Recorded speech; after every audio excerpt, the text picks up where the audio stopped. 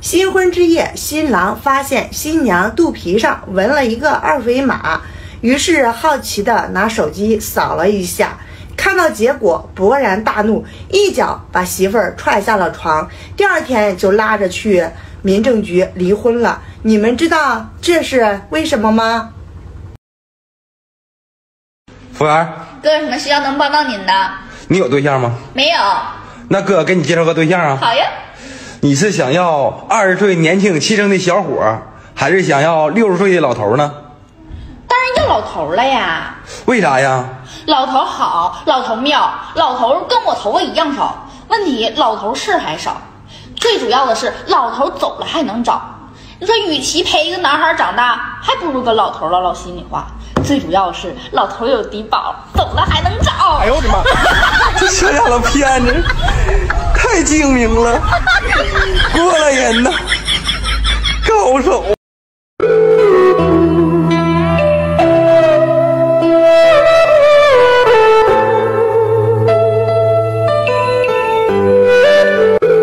荒田无人耕，一耕有人争。肚里无食无人知，身上无衣受人欺。合伙租船船会漏，两家养驴驴会瘦。好猫难抵鱼引诱，人不交往看不透。我和老公没有共同语言，不能说话，一说话就干仗。就这样过了三十年，有和我一样的吗？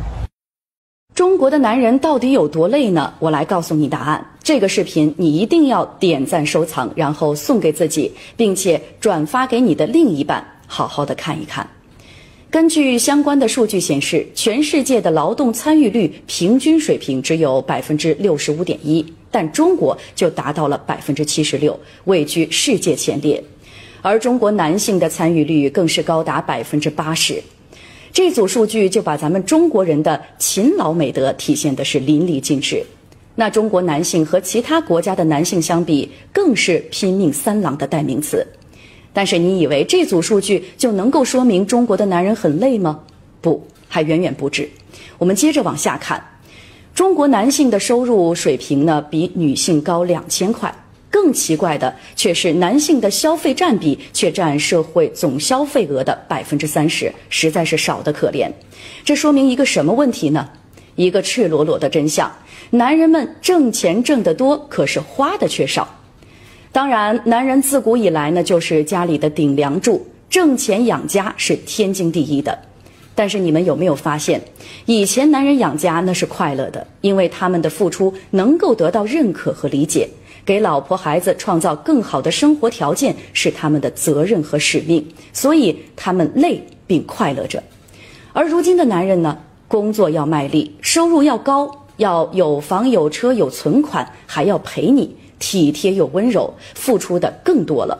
但是家庭的认可度却在不断的下降，因为有越来越多的人把这些付出看成是理所应当，所以才有那句。男人负责赚钱养家，女人负责貌美如花的毒鸡汤广告。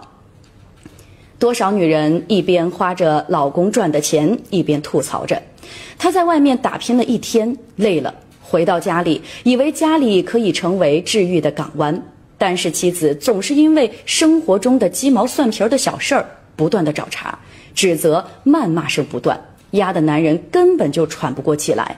他们找不到一点属于自己的空间，只能静静地待在车里，边抽烟边发呆。在生活面前，他们是父亲，是儿子，是丈夫，唯独不是他们自己。一睁开眼，身边全是依靠他的人，却没有任何人可以让他来依靠。全世界都在教女人如何如何被爱，却很少有人提及男人也需要爱呀。即使他们从来都不怕为你付出，为这个家来付出，他们最怕的就是他们的付出得不到回报，还被碾碎了一地。所以，男人的累不是体力上的累，而是心里的累。那你认同吗？认同的话，请点赞转发吧。中国的男人到底有多累呢？我来告诉你答案。这个视频你一定要点赞收藏，然后送给自己，并且转发给你的另一半，好好的看一看。根据相关的数据显示，全世界的劳动参与率平均水平只有百分之六十五点一，但中国就达到了百分之七十六，位居世界前列。而中国男性的参与率更是高达百分之八十。这组数据就把咱们中国人的勤劳美德体现的是淋漓尽致。那中国男性和其他国家的男性相比，更是拼命三郎的代名词。但是你以为这组数据就能够说明中国的男人很累吗？不，还远远不止。我们接着往下看，中国男性的收入水平呢，比女性高两千块。更奇怪的却是，男性的消费占比却占社会总消费额的百分之三十，实在是少得可怜。这说明一个什么问题呢？一个赤裸裸的真相：男人们挣钱挣得多，可是花的却少。当然，男人自古以来呢，就是家里的顶梁柱，挣钱养家是天经地义的。但是你们有没有发现，以前男人养家那是快乐的，因为他们的付出能够得到认可和理解，给老婆孩子创造更好的生活条件是他们的责任和使命，所以他们累并快乐着。而如今的男人呢，工作要卖力，收入要高，要有房有车有存款，还要陪你。体贴又温柔，付出的更多了，但是家庭的认可度却在不断的下降，因为有越来越多的人把这些付出看成是理所应当，所以才有那句“男人负责赚钱养家，女人负责貌美如花”的毒鸡汤广告。多少女人一边花着老公赚的钱，一边吐槽着，她在外面打拼了一天，累了，回到家里，以为家里可以成为治愈的港湾。但是妻子总是因为生活中的鸡毛蒜皮的小事儿不断的找茬，指责、谩骂声不断，压得男人根本就喘不过气来。他们找不到一点属于自己的空间，只能静静地待在车里，边抽烟边发呆。在生活面前，他们是父亲，是儿子，是丈夫，唯独不是他们自己。一睁开眼，身边全是依靠他的人，却没有任何人可以让他来依靠。全世界都在教女人如何如何被爱，却很少有人提及男人也需要爱呀。即使他们从来都不怕为你付出，为这个家来付出，他们最怕的就是他们的付出得不到回报，还被碾碎了一地。所以，男人的累不是体力上的累，而是心里的累。那你认同吗？认同的话，请点赞转发吧。请问你知道丈母娘加一笔念什么吗？丈母娘加一笔就是二十万。人家都说姓王的叫王总，姓张的叫张总。我今天碰到一个姓杂的，你别笑。我是吉林的，吉林白城下边通榆的。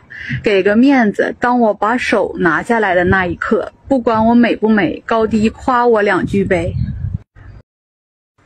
凭什么说你是女的？拿什么证明？掏出来给我看看。嗯？干什么？身份证啊！哎呦我的妈！你们说什么时候最适合干坏事呢？要我说呀，就是中午。中午干坏事是最好的时候，因为有句古话说得好：早晚你会被人发现。